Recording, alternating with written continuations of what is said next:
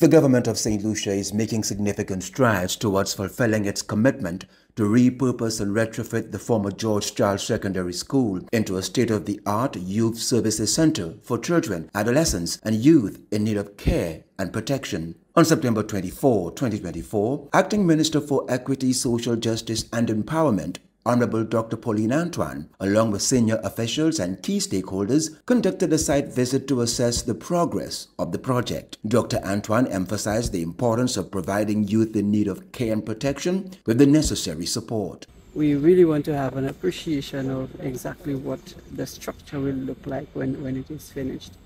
We look we really look forward to the completion of this building and the department will do everything possible to ensure that the funding and the logistics are put in place so that our children, our young people will get a better, a place of refuge, a better place to, to come to because you know that we are dealing with children who are in crisis, children who have been displaced. Permanent Secretary Dr. Shaman Hippolyte Emmanuel highlighted that the site visit was part of ongoing stakeholder engagements and decision-making processes aimed at ensuring that the project meets its objectives. We're excited that we're moving towards this goalpost.